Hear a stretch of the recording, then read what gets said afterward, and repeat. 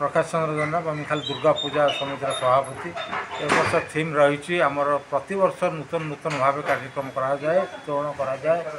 ଏ ବର୍ଷ ସ୍ପେଶିଆଲି ଆମର ଉତ୍ତରପ୍ରଦେଶ ଢାଞ୍ଚାରେ ଆମର ହସ୍ତିନାପୁର ପ୍ୟାଲେସ୍ ନିର୍ମାଣ କରାଯାଉଛି। ଯାହାର କି ଉଚ୍ଚତା ଅଶୀ ଫୁଟ ଚଉଡ଼ା ଶହେ କୋଡ଼ିଏ ଫୁଟ ଦୀର୍ଘ ଦୁଇ ମାସ ହେଲା ଚାଳିଶ ଜଣ କାରିଗର ଏଠାରେ ଦିନ ରାତି କରି କାମ କରୁଛନ୍ତି। ତା ସାଙ୍ଗକୁ ୱେଷ୍ଟବେଙ୍ଗଲର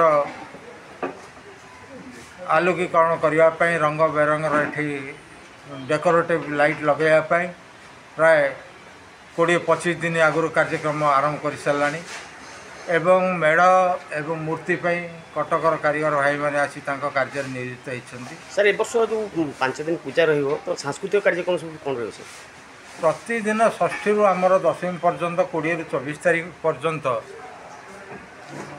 ବ୍ରାହ୍ମଣମାନଙ୍କ ଦ୍ୱାରା ଷଷ୍ଠୀ ସକାଳୁ ପ୍ରାୟ ଭୋର ସମୟରୁ ଚଣ୍ଡୀପାଠ ଠାରୁ ଆରମ୍ଭ କରିକି ପ୍ରତ୍ୟେକ ନୀତିରୀତି ସମୟ ଅନୁସାରେ କାର୍ଯ୍ୟକ୍ରମ କରାଯାଏ। ସନ୍ଧ୍ୟା ସମୟରେ ଭଜନ ସମାରୋହ ସମକୁ ସାଙ୍ଗକୁ ମେଲୋଡ଼ି କାର୍ଯ୍ୟକ୍ରମ ରହିଛି ଏବଂ ବହୁ ଭକ୍ତାଳୁ ଜନ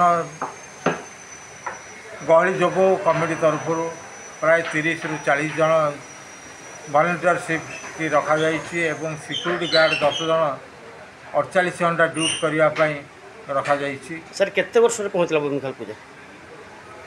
ଏ ବର୍ଷକୁ ମିଶାଇ ଷାଠିଏ ବର୍ଷ ହେଲା। କେତେ ବ୍ୟୟ ଅଟକଳ ରହିଛି ବର୍ଷ? ପ୍ରାୟ ପଚାଶ ଲକ୍ଷରୁ ଉର୍ଦ୍ଧ୍ୱ। ଥ୍ୟାଙ୍କ ୟୁ ସାର୍ ତେଣୁ ଏ ପୂଜାର ମାହାତ୍ମ୍ୟ ହେଉଛି ଆପଣମାନେ ସମସ୍ତେ ଜାଣିଥିବେ ଦଶହରା ମା ଦୁର୍ଗାଙ୍କର କାଶଦଣ୍ଡୀ ଫୁଟ ଫୁଟିବା ମତରେ ଫୁଟିବା ପରଠାରୁ ଦୁର୍ଗାଙ୍କର ମା ଦୁର୍ଗାଙ୍କର ଆବିର୍ଭାବ ହୋଇଯାଇଥାଏ। ଆମେ ସେଇ ସେଇ ପ୍ରକାରରେ ଦୁଇ ମାସ ତଳୁ ବଙ୍ଗୀୟ କାରିଗରମାନଙ୍କର ସହାୟତାରେ ଆମର ତୋରଣ ହସ୍ତିନାପୁର ଆଜିକାର ଯ- ଯେଉଁଟାକି ନିର୍ଡିୟଲ୍ ଆୱାର ହାତୀ ହାତୀ ବଞ୍ଚାଅ ଏବଂ ଦେଶ ବଞ୍ଚାଅ ବା ରାଜ୍ୟ ବଞ୍ଚାଅ ବା ସମାଜ ବଞ୍ଚାଅ ସେଥିପାଇଁ ଆମେ ହସ୍ତିନାପୁର ପ୍ୟାଲେସ୍କୁ ପ୍ରାଧାନ୍ୟ ଦେଇଛୁ ଦେଖିବା ଆପଣମାନେ ହସ୍ତିନାପୁର ପ୍ୟାଲେସ୍ କମ୍ପ୍ଲିଟ୍ ହେଇଯିବ